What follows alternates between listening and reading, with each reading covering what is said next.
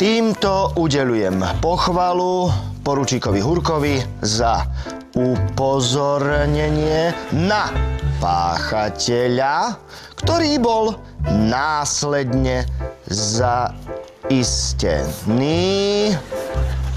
podporúčíkom Vyšným Riefenštálom, ktorý momentálne nie je pritom, pritom, no, no. Neviete, aké je čo, šéfko?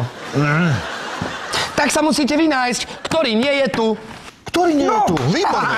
Ktorý nie je A keby ste ho chceli odmeniť nejakými e, prípadne gastráčmi alebo čo, tak ja kľudne postrážim aj tie Aleksandrové, no kým nie je tu.